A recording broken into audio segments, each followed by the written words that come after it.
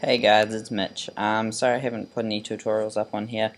Um, I've been uh, on, hol on holiday for like a week or so and I just got back yesterday. So I thought I'd make a tutorial for you guys. Um, this one's going to be pretty simple. It's just how to um, install plugins on Cinema 4D. Um, this is quite useful because it just gives you a whole shitload of new options if you find all the plugins you want and know how to install them. Um, I'm going to show you to do, the one I'm going to get today is a destructor. Oh, well, a destructing one. So it's called the. I'm not too sure I spelled it. There we go, spelled right. Okay, I'm going to go on this first one. So if you just Google Thrausi, it'll come up. Um, click on the first one. it's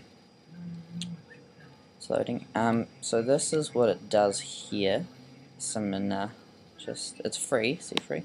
Those are just some, um, things that explain what it does. And this is what you can do if you... I'm not, I'm not sure how well you guys to be able to see that, but it's just a video of a, building crumbling using this plugin. So I'm just going to scroll down to here under these pictures and you can see there's the version of Cinema 4D. I have 11.5, some people might have 12 because I've seen some tutorials on YouTube on how to get 12 but I haven't seen one for Mac yet, I don't really mind. Um, so I'm just going to click on this, let it download, uh, show in Finder or folder, and as you can see it has that weird ass logo, that's because I have an RAR um, expander which I just downloaded because I cleared my downloads folder the other day and apparently it deletes um, deletes the program, which was weird. Okay, so here it is here. I'm just going to open up and I'm just going to copy this folder. In here is just all this stuff, which is what you need. So I'm just going to copy this folder. Command C on Mac, Control C on um, PC.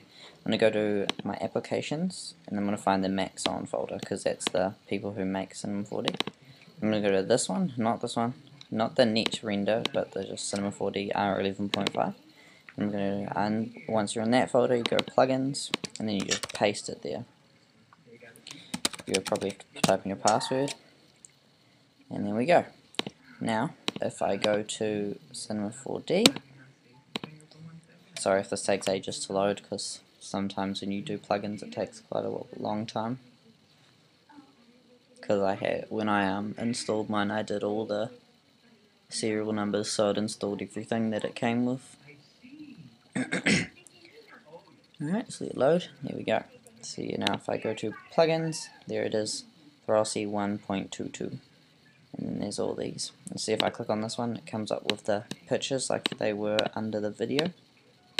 And so yeah, I'm just still learning how to um, use this plugin, so once I've got a hang of it, I'll put a tutorial up for you guys. Alright, so thanks for watching. Um, go subscribe to my channel. There's a more detailed um, for more detailed tutorials on pretty much anything, just ask. So yeah, thanks for watching. See ya.